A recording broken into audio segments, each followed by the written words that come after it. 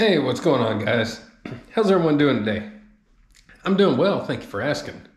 Well, we're going to do another video about another piece of my gym equipment, and this is going to be short and sweet, guys. I found this on uh, Marketplace, I think Marketplace, or Craigslist, one of the two, uh, earlier in 2021, and this was really uh, the beginnings of my gym. Uh, it was listed, I believe, for maybe 125 or 150 or one something like it. It was it was up over 100, and it had been on there for probably a couple weeks or a few weeks or so. And uh, so I contacted the guy and I said, "Hey, we take $75 for it," and he said, "Yep." And not only did he take $75 for it, he actually met me on the side of the road a little ways out of town where he is, uh, where he was located. He met me on the side of the road. We talked. He helped me put it in my car, all that good stuff. So, friendly guy. What we're going to talk today about, guys, uh, the little that I know about it is the Parabody FID flat incline decline adjustable bench. There's the name. There's the model number.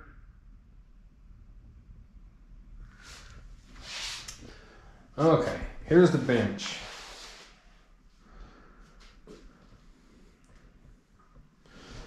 Okay.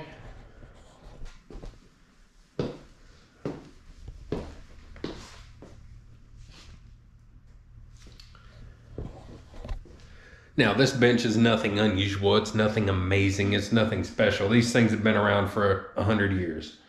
Um, it does have adjustable uh, pull lever here with multiple settings all the way. The seat has multiple settings. With this right here, you put it down here it lays flat, put it right here, it goes up a little bit. Pull it back to here, and it goes up even further.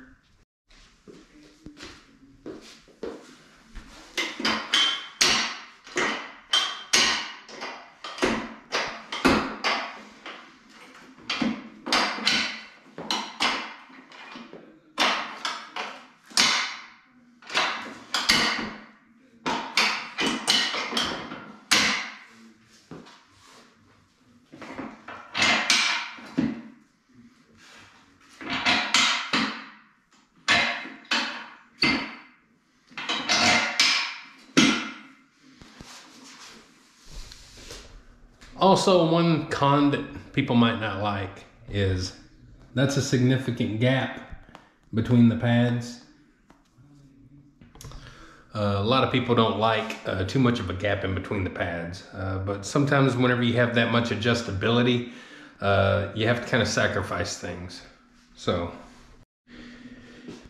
and as far as the pad quality goes,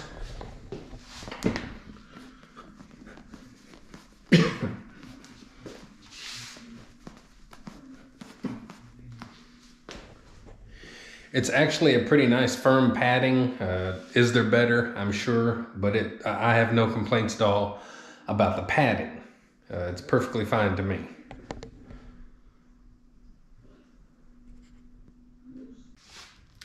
There is a knob here, and there is a spot here,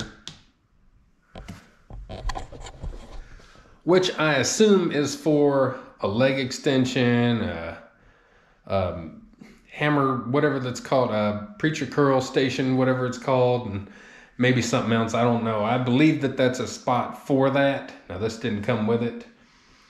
Um, I can't find a whole lot on this bench. Now, I just researched just a little bit and kind of kept clicking around and clicking around on Google and just didn't see a whole lot. But uh, as far as the build quality, I think it's it's rated for a good bit of weight. I wouldn't doubt it being a thousand pound. I wouldn't doubt uh, it's pretty solid. Now it does move. But that's something you're going to experience most times with adjustable uh, benches. There's going to be some movement because there are uh, points in the bench that uh, have to move. So along with this, along with up here, down here, here, here, you know, uh, there's going to be some movement. It's a little bit different than your like uh, fixed position benches that you can buy. As far as the quality of the steel, the gauge of the steel, like I've mentioned before in my other videos, machines and benches and uh, benches and uh, all that are usually somewhere between 14 gauge and 11 gauge. Now, I don't know what this is, but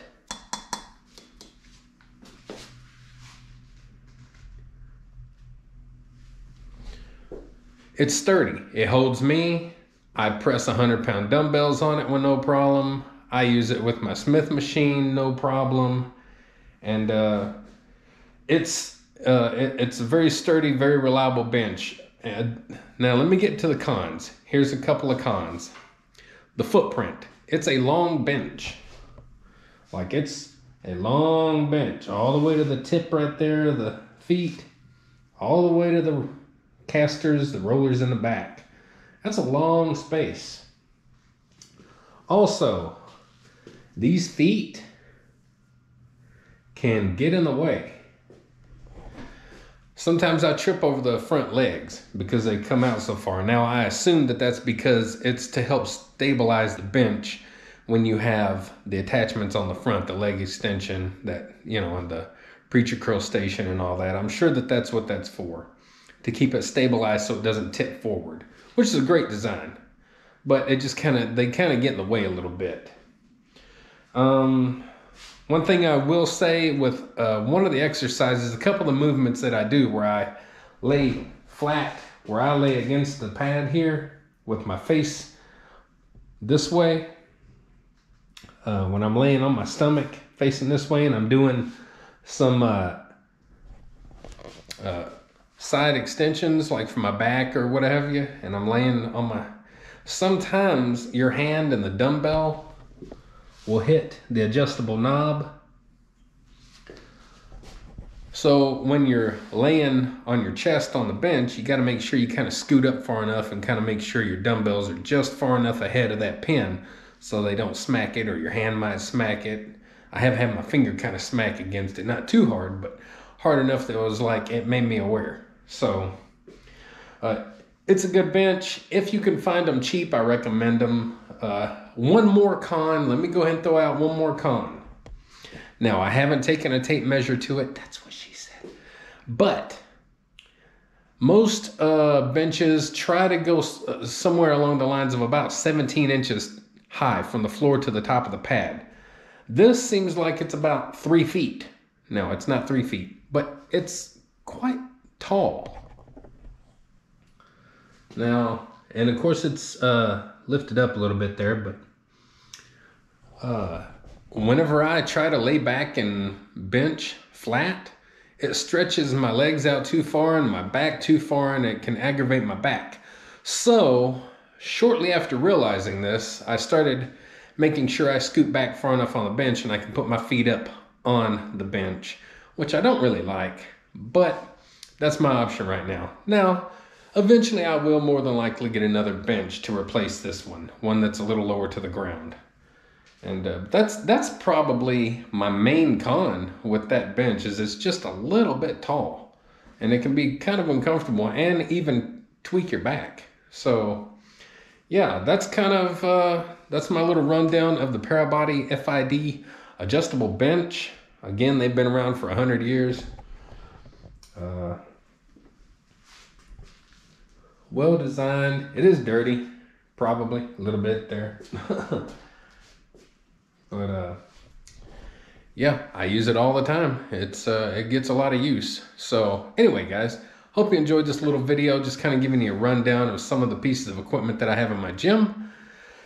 Uh, I'll put a little tag or whatever you know at the end of this video to get you to some of the other videos that uh, I've kind of went over uh, here the past couple days. So anyways, like, share, subscribe, comment, all that good stuff to the body beatdown. And don't forget, guys, get up, get out, get rad, do it to it, and we'll see you later. Have a wonderful day. Ooh.